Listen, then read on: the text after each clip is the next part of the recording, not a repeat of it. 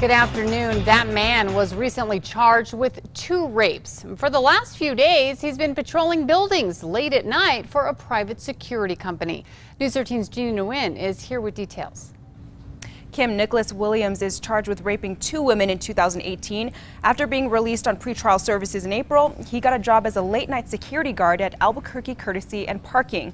That company is contracted to, to to patrol dozens of apartment complexes and parking lots around Albuquerque to keep an eye out for people and property. But we were contacted by a concerned citizen saying Williams is not the best person to be doing that since he's accused of preying on women.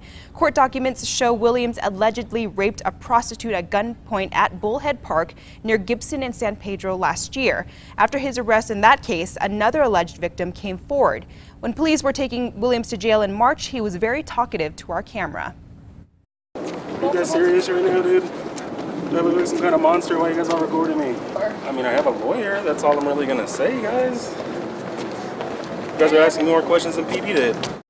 We called ACP to see why they would hire Williams. They told us they didn't know about his charges. They also said Williams had a current security guard license, which meant he undergone a background check in the past. They say they were planning to do a background check of their own as well.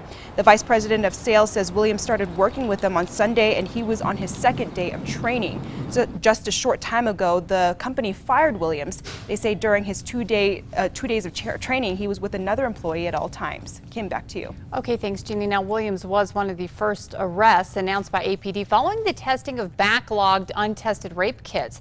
The department is still working to get all of those tested, but they have made significant progress.